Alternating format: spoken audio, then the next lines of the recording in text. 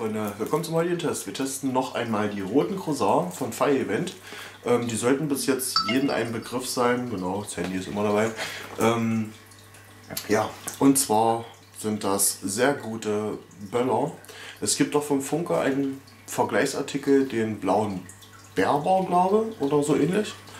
Ähm, hier haben wir 20 Stück drin. Preislich habe ich bezahlt 6 Euro. Ähm, ist sehr günstig, 6 Euro.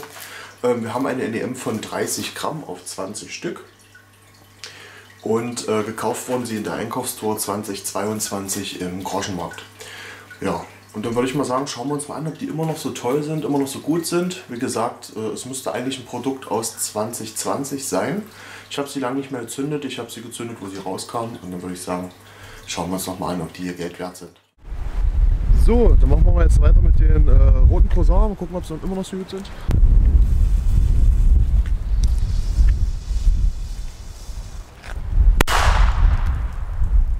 Sehr gut. Für 1,5 Gramm.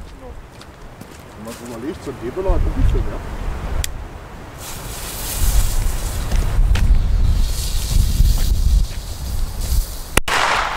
Dann nicht so ja weniger eigentlich.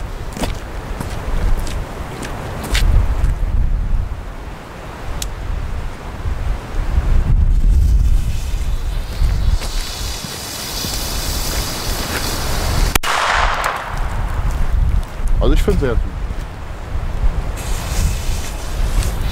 Nur der Wind ist natürlich. Ach, jetzt geht er wohl auch zurück, oder?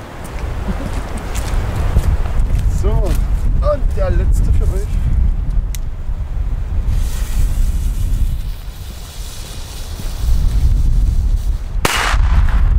Ja, Freunde, also für 1,5 Gramm ganz okay, wenn der Wind nicht wäre.